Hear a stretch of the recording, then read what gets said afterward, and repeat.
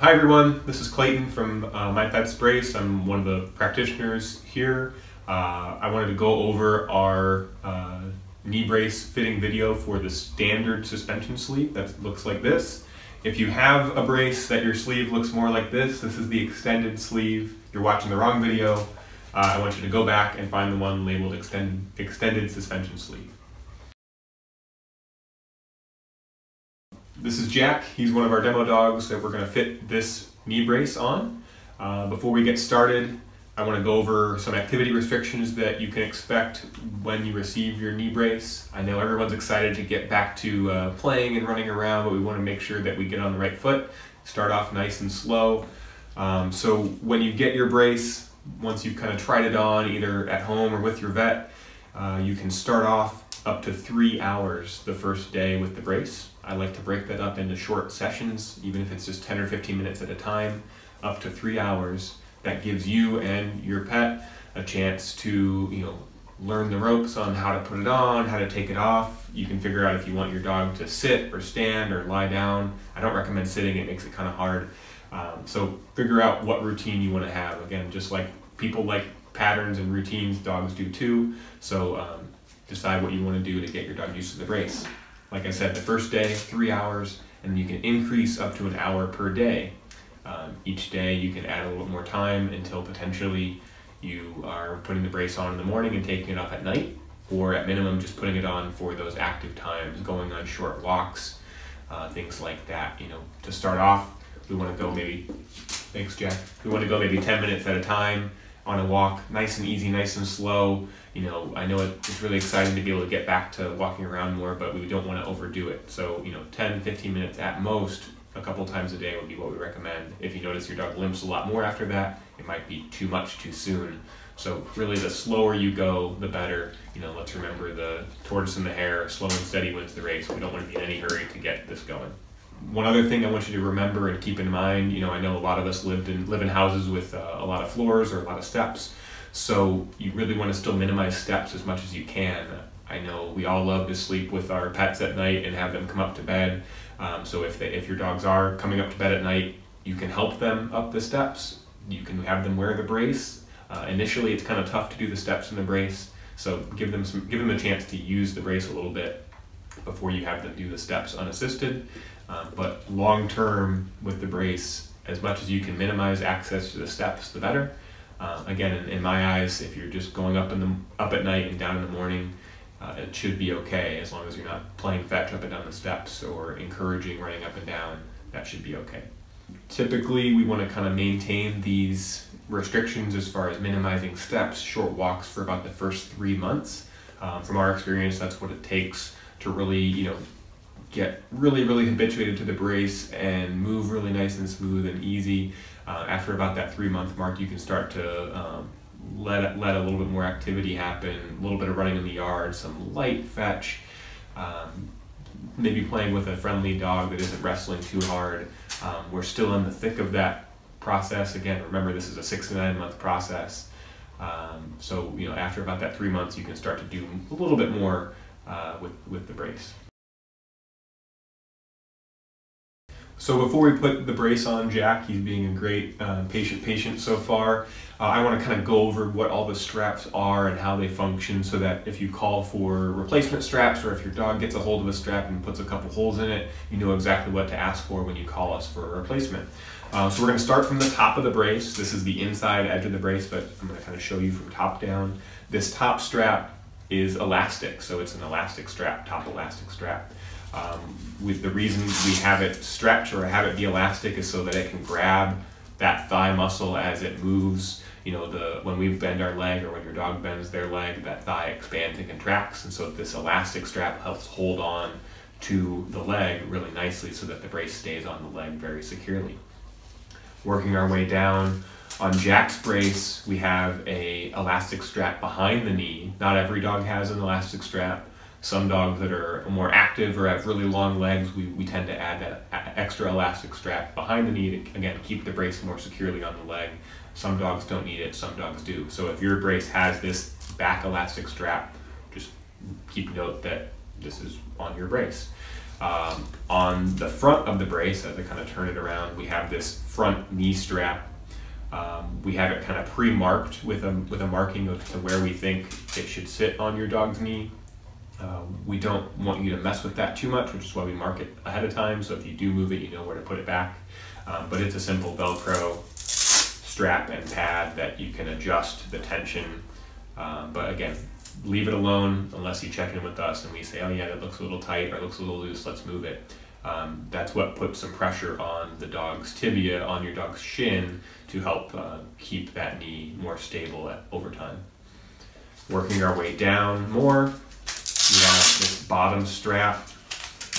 This is um, the Achilles tendon strap and pad. This pad here, I'm going to turn around, has a groove. That groove as the name of the strap and pad suggests, it straddles the Achilles tendon.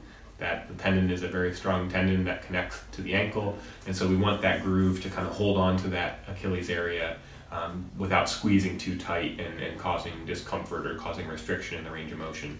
Uh, the pad itself can slide on the strap back and forth so that you can center it properly on the back of the leg, and we'll, we'll illustrate that as I put the brace on Jack here in a minute.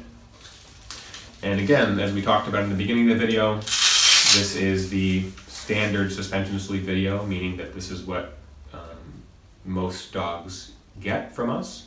This piece wraps around your dog's ankle or your dog's hock to hold the brace up. Without this piece, it tends to slide down.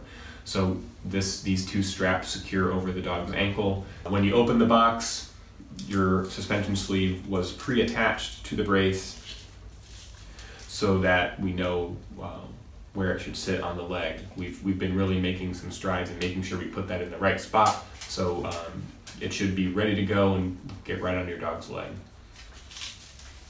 Uh, there's a there's a marking that we put on there on the bottom of the sleeve, or excuse me, the, near the bottom of the brace, that uh, lets us know or lets you know where everything should line up. So that when we send you replacements, it has that mark already on it, so you know exactly where it's all supposed to sit. Jack looks like he's ready to put his brace on. Jeremy's doing a great job keeping him distracted and keeping him standing up. So we're going to put Jack's brace on. This is the number one thing I want you to remember before we start. This suspension sleeve, it's made of a neoprene material. On the back here, that's kind of a neoprene. By design, we want it to hold on to the leg and hold on to that skin a little bit. But if it gets too grabby, too much friction, it can really irritate your dog's leg. I want you to make sure you're powdering the brace or powdering the sleeve of the brace at least once a day. When you get up in the morning, just like we all brush our teeth in the morning when we wake up, when you're putting your dog's brace on, you're going to put some powder. Um, you can be very liberal with the powder. There's no such thing as too much powder in this case. As I rub it in, the excess is going to fall on the floor. So um, either make a mess on your floor at home or have a trash can nearby or do it over the sink but the powder is your first defense against irritation and chafing and things like that that can happen. So we really want to make sure you're powdering at least once a day. If your dog has sensitive skin or allergies or it's really been hot and humid where you are, um, make sure you're maybe powdering even more than once a day. Um, again, because the softer and uh, more slick this is, the better your dog will do with uh, preventing irritation. So I powdered this nicely. Jack's curious about that. Um, so you can do this with this in the brace, or in my case, I took it out of the brace to show you. So we're gonna pretend it was already in the brace. I'm gonna put it back in.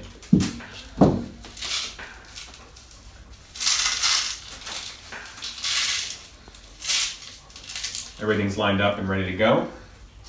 So we're gonna have Jack stand up. So when we first put the brace on, as I talked about, the sleeve, the suspension sleeve of the brace is already attached. So really it all keys or starts from the ankle area. This, the brace is going to hold up around my thumb and finger, hold around that ankle. Um, but when I put the brace on to start off, I like to take the upper corner, the upper part of the brace, and kind of push that up into his belly gently.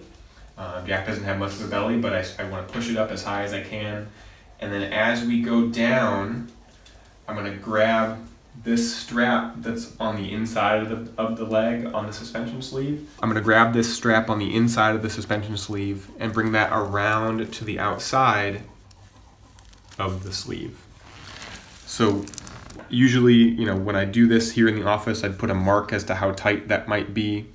Um, but I'll go ahead and do the other side. This other side now goes around and down and we're going to have a little bit of a little bit of a car crash there with those straps. They're going to run into each other without overlapping, and that secures the brace above the ankle bone, above the hock.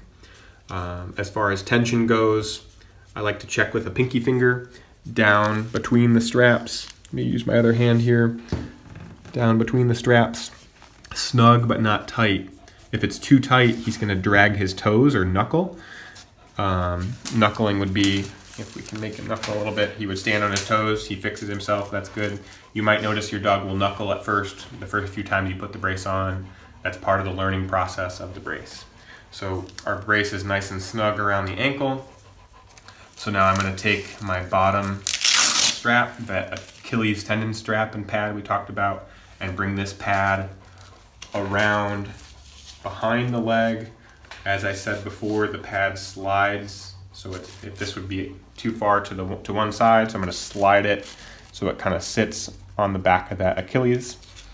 Then I can open the loop of the buckle, go through the strap, or go through the buckle, excuse me, with the, with the strap, and bring it around and secure it.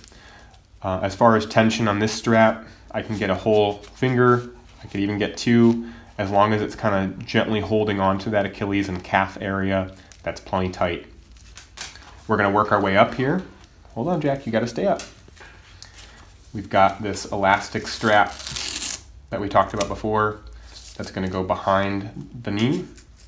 And the buckle, the loop of the buckle, you can push open and then pull it around. Want to put a little bit of tension on the strap and then fold the Velcro back around. As we talked about before, this front strap is already set up. That looks like it's going to be just right. It's sitting just below the bend of the knee. That's where we want that to sit. Um, so that's in the right spot, and we'll, we'll review that in a, in a minute or two. We're gonna then do our top elastic strap. As I said before, it stretches, so I'm gonna pull that around behind the thigh, through the buckle, and then fold the Velcro in place. Just like the lower strap, I can get a finger or so. You know, generally I, I look for about an inch of elastic pulled through the buckle. Um, you can see in Jack's case, this kind of leans down a little bit, the strap. Hold on, Jack. So you can kind of push that buckle down so it kind of lays square like that. And that's how you put the brace on.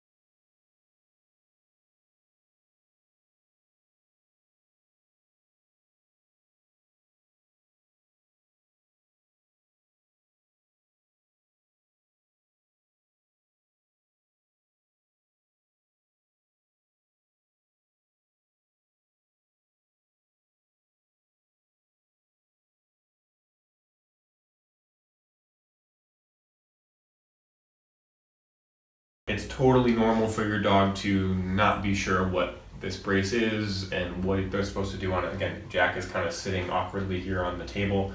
Um, he doesn't look very comfortable, and that's totally okay. Um, your dog may skip, hop, not want to use the leg, kick it out behind them a few times, try and nibble on it. All's fair game. Um, what you want to really emphasize is, you know, keep it positive, keep it light. As far as if your dog is having a hard time, don't freak out. Don't be like, oh my gosh, what's wrong? Let them kind of collect themselves and kind of keep them moving along and say, all right, let's keep going, let's try and walk. Um, or put them on a leash and go very slow walking around at first so they really get the idea of the pattern. Um, you know, usually I tell people, you know, I can hop on one leg down the hall, okay, not for very long, versus hopping on one leg standing still or hopping very slowly. I'm more likely to want to put my leg down to catch my balance. Is the same with a dog in a brace, especially a small dog. Um, so if you're walking them too fast, it's much easier for them to say, all right, I don't need to use my weird new leg. I don't need to use this brace. I'm just going to hop along. But if we go slow and very deliberately encourage our dog to walk slowly, they're more likely to catch their balance by putting the brace down or putting the leg with the brace down. Um, so again, hopping, skipping, jumping, all sorts of weird things are okay um, as long as we push through them a little bit and encourage our, our dogs, our pets to um, to work through that and, and learn how to properly move the brace. I want to review a couple concerns that we get from clients fairly often, and I want to try and address those so um, you know whether you're on the right track or know if there's a reason that you should reach out to us. Um, we often get questions about the amount of gapping that is seen um, below the brace or below the knee area. Um, that some of that gapping is, is very very normal. Um, big picture, I want to address the fact that the mold that we make or the mold that your vet made of your dog's leg was when the dog was standing still. When we move, when your dog moves, everything is very fluid, everything is very dynamic. So the muscles move, the shape of the bones, the shape of the bones don't change, but the relationship of the bones change as dogs move. So the brace will move with everything, but the brace is made in one shape and the leg isn't quite the same all the time. So some gapping will happen as your dog moves. That's totally normal. But specifically, we get questions about the amount of gapping on the front knee strap. As I said before, we set that from the factory per se. We set that before it leaves our building to get where we think it's supposed to be. But oftentimes we see that people have made it too tight. So if, if I make this too tight, that pulls the brace forward and we get more gapping on the sides of the brace. We don't want that. But if I bring this and totally undo it and kind of pull the brace back on his leg, now the, the shin is very close to the front of the brace. We're fairly snug all the way around the knee. A little bit of room up here, that's okay. Jack's fairly strong, he's fairly muscular. Um, so again, as I place this strap and pad, I'm gonna intentionally create some gapping, create a little bit of space, because I'm pushing on the shin bone to keep that joint back in place. Again, the goal with this brace is we're gonna try and control some of that movement of the cranial drawer of movement of the tibia. That's what these, this injury causes. Um, so we want to try and control that. And Jack is bored of my conversation.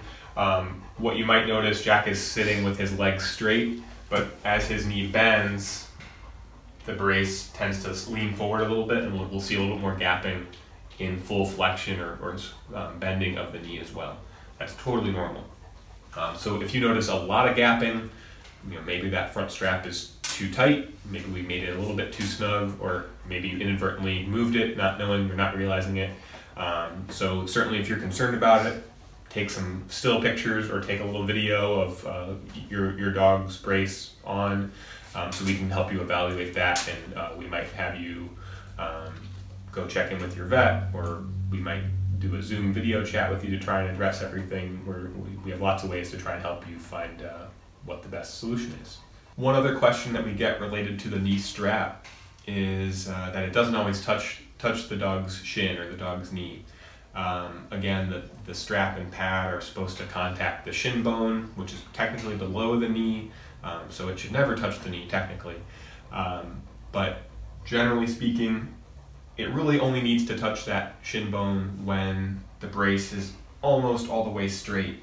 So if we kind of take a look, maybe Anna will zoom in a little bit, there's a little bit of space here at the hinges of the brace, meaning that the brace isn't quite all the way straight, but we've got some contact here on that shin bone. That's good because the last few degrees of extension are what we really want to push on that shin. If we were pushing all the time or contacting all the time, it maybe would be even uncomfortable for the dog. So as the knee bends, as I talked about before, and Jack's brace is fitting exceptionally well, um, as the brace bends, it gets a little bit loose on that shin bone. So there's not always going to be contact with that pad as your dog bends. Uh, as I mentioned before, he has a back strap that really keeps it tighter more often. So just for the sake of example, I'm going to undo that back strap to show you that as the brace leans forward, I'm pushing it forward intentionally. There's gonna there's some space there. So you know, as your dog moves, if, if that brace moves forward and back, there's gonna be some space on that strap and pad, and that's okay. The goal is that it's contacting when your dog is almost fully straight or in almost full extension, because that's what we want to accomplish from the design of the brace. So Jack has made himself comfortable here. Uh, we're ready to take the brace off. Um, like I mentioned at the beginning of the video, if you can remember that far away, um, you can do the brace, put the brace on and off standing or lying down, uh, whatever makes you most comfortable or most confident or whatever makes your dog most comfortable. If they have a favorite bed they'll lay on no matter what's going on, maybe work on their work on the brace on their bed. Um, so taking the brace off is simply the reverse of putting it on. I know that sounds redundant or sounds silly, but let's go through that. Um, I like to start from the top elastic strap. I'm gonna put my finger on the buckle area on the strap and work my hand and finger down to the end of the Velcro hook and kind of grab with my fingertip or grab with my nail if you have a little nail and peel the Velcro back. Then I'm gonna back the strap through the buckle and I like to fold it back on itself so it doesn't get tangled up as we take it off. Especially if you have a long haired dog, you don't want that hair to get stuck or pull on your dog's hair as you're taking the brace off. We can leave this front strap alone as I've mentioned, you don't have to undo that. But if you do, that's why it's marked so you can address that. Then we're gonna work on our middle back strap or our back elastic strap. Same thing, I'm gonna take my finger to, toward the inside of the, of the brace and find that Velcro hook, pull it back, and unhook it from the loop and fold it back. Work our way down to the Achilles tendon strap and pad, finger on the outside by the buckle, follow my finger to the inside of the brace. I can kind of feel the end or feel the edge. We'll kind of pull it and rotate it so you can see a little bit.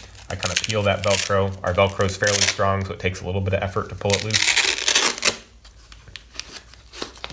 And then fold that around.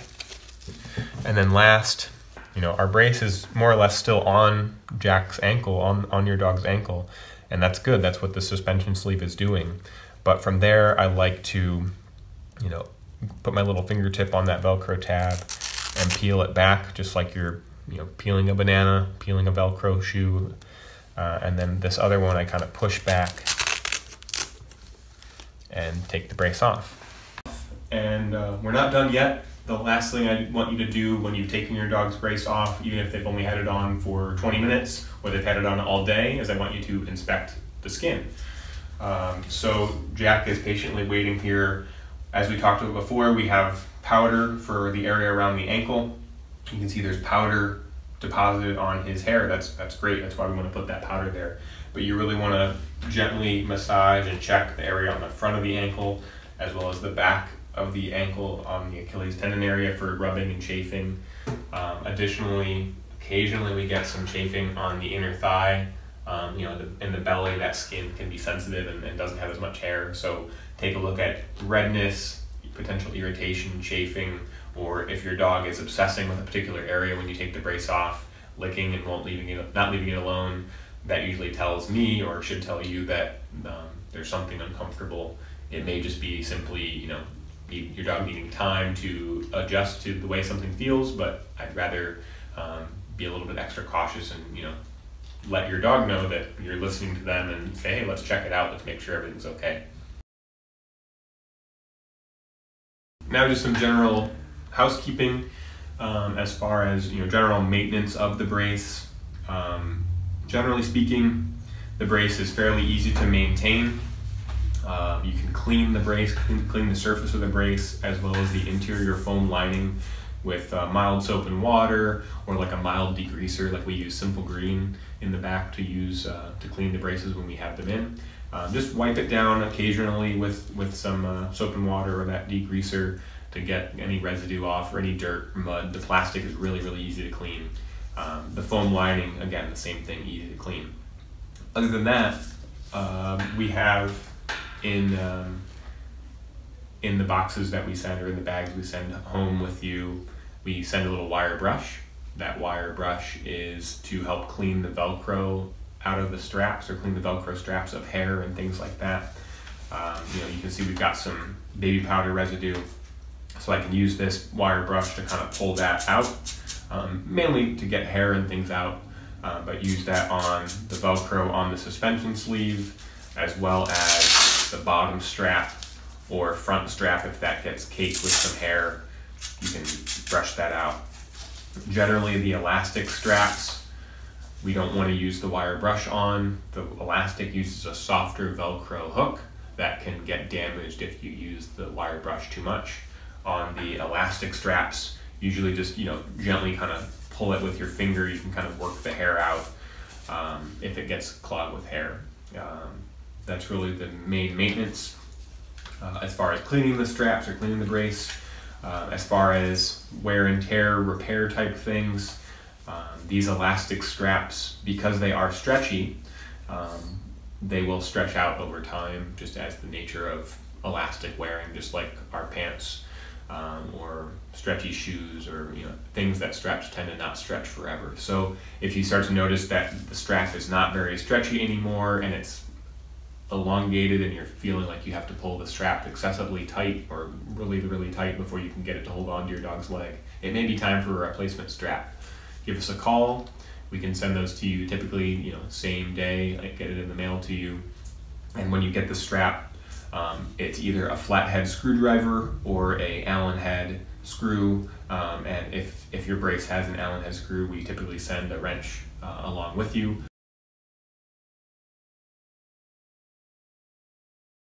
Another thing that we often have to direct people to address as far as the fit of the brace goes is, uh, you know, as I mentioned before, we mark the suspension sleeve with this little T shape to our best guess as to where everything should sit to get at the right position on your dog's knee.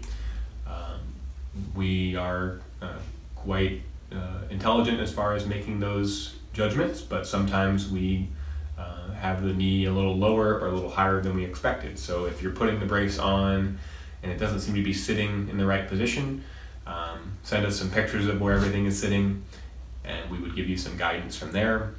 A lot of times we have people bring, bring the braces up higher on the dog's knee if it's sitting a little bit low. What that would mean is creating some space, creating some distance between the mark on the sleeve and the bottom of the brace. So I'm going to put it in the correct spot at this moment.